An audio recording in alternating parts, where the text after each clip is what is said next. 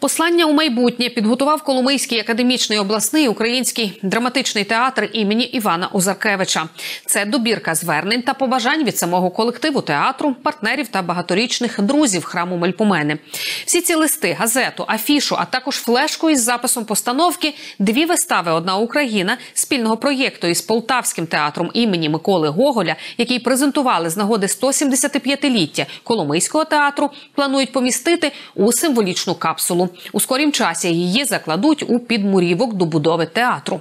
Відкрити послання планують через 25 років, коли театр імені Івана Озаркевича святкуватиме своє 200-ліття. Більше розкаже Ольга Руданець, заступниця директора драмтеатру. Театр пережив дві світові війни, і сьогодні ми знову в такій тривозі.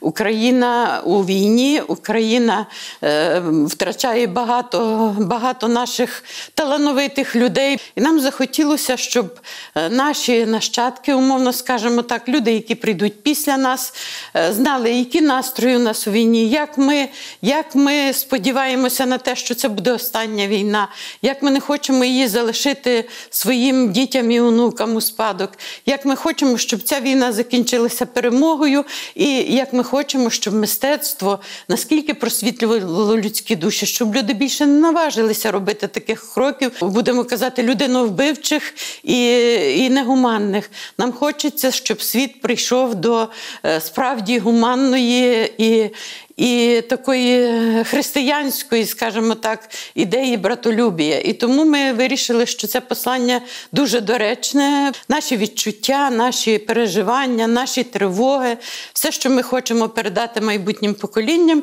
щоб воно було у цій капсулі. Нас потішило, бо коли стали присилати нам перші відео, і для прикладу, директор Херсонського театру імені Куліша, вже національного театру, сказав, що от ми зустрінемось через 25 років років. От ми візьмемо, відкриємо цю капсулу, і от ми свої настрої тоді звіримо, чи чи вони відповідають тому, що ми собі бажали. Тому тому це правда хотілося хотілося цим посланням сказати нашим прийдешнім і театралам, і глядачам, е, передати той е, біль у нашому посланні колективному, яке було оприлюднено під час урочистостей. Біль ми залишимо собі, але пам'ять ми делегуємо все-таки тим, хто прийде після нас, тому що біль передати їм не хочемо, а хочемо передати е, заповідь пам'яті. Вони повинні пам'ятати про те, в яких умовах сьогодні виживає. Ну, дякуючи нашим Збройним силам України, ми мали можливість як не стиснути, а все одно відзначити цей ювілей. А хотілося, щоб уже наші прийдешні покоління і театралів, і глядачів не знали цих тривог. Тому такий задум. Я хочу сказати, що на наше запрошення відгукнулися і владні органи, і навіть наші релігійні, тому що Владика Василій, Владика Василій, ем, єпарх нашої Коломийської єпархії е, Української греко-католицької церкви, прямо на сцені побажав залишити і поставити під час урочистості, поставити своє вітання у цю капсулу від е, від районної державної адміністрації і від і від е, багатьох інших колективів від обласної державної адміністрації, обласної ради е, прийшли такі побажання і послання. Хтось їх вважав оформити навіть так, бачите, святково, хтось хтось просто листом, хтось відео, яке ми маємо от збережене на на цьому диску. Тому, Тому вважаємо, що ну, для нас це цінне є.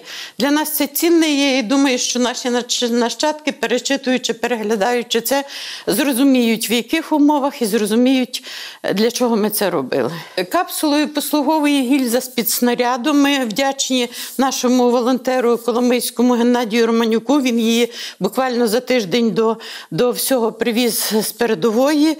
Е, було кілька варіантів капсул, були більші, були менші, але ця гільза нам найбільше підійшла. Вона міцна, вона з доброго металу, вона вона збережеться, і тому ми вибрали цю. На ній ще буде, ми ще на ній нанесемо такий гравірувальну, таку пам'ятну. Е, пам'ятний напис, і і все тоді буде сформовано так, як належиться.